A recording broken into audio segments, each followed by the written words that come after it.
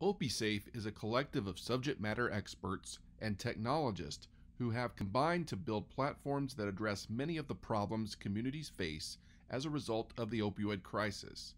Our platform is designed to address the entire opioid life cycle. Since 2015, OpiSafe has provided prescribers with unparalleled intelligence about their patients' use of opioids and benzodiazepines.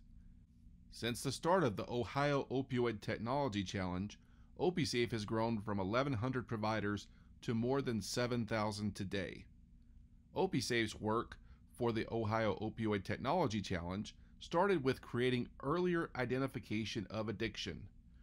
To do this, we combine metrics from urine drug screening, state drug monitoring reports, and insights provided through the collection of more than 100,000 patient assessments. An AI and machine learning service called Atom takes this information and creates accurate and tailored decision support for each patient. In addition to identifying patients, our work was extended to identifying the likelihood of referral to treatment once probability of OUD was identified. This analysis led to a stark reality. Knowing who needs treatment is one half of the solution having an efficient way to make the referral directly in clinical workflow is the other half. With this in mind, we designed a seamless referral system for treatment to be directly available within OpiSafe or as a separate tool, directly integrated into electronic health records. The result is Treatment GPS, a treatment referral platform that identifies medical necessity, coverage, and receiving provider intake ability.